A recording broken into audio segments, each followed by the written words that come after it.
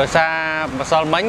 ស្ថានភាពផ្លូវមានការលំបាកខ្លាំងហើយនឹងអឺសាផ្លូវមានរយៈចម្ងាយឆ្ងាយផងធ្វើឲ្យរថយន្តរបស់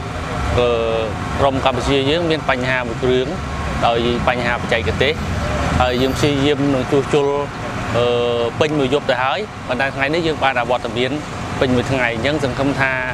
យប់នេះយើងនឹងត្រៀមឲ្យគ្រប់លក្ខណៈបច្ចេកទេសនៅថ្ងៃទី3ពីដើមមកយើងបានត្រៀមរួចទៅហើយរបស់អឺគ្រឿង បំពាក់ spare part មកគឺថ្មីទាំងអស់ប៉ុន្តែដោយសារស្ថានភាពផ្លូវមានការលំបាកហើយនឹងវែងឆ្ងាយអញ្ចឹងធ្វើឲ្យអឺរថយន្តយើងទៅស៊ូនឹងស្ថានភាពផ្លូវអត់បានបាទចំពោះរយៈពេល4ថ្ងៃចុងក្រោយក្រុមការងាររបស់ខ្ញុំនិងក្រុមបច្ចេកទេសនឹងព្យាយាមឲ្យអស់ពីសមត្ថភាពដើម្បីផ្ដល់នៅគុណភាពបច្ចេកទេសទៅលើរថយន្តរបស់កម្ពុជាយើងឲ្យអស់ពីលទ្ធភាពដែលយើងមានហើយនឹងឈានទៅដល់ទទួលលទ្ធផលល្អនៅថ្ងៃក្រោយបាទ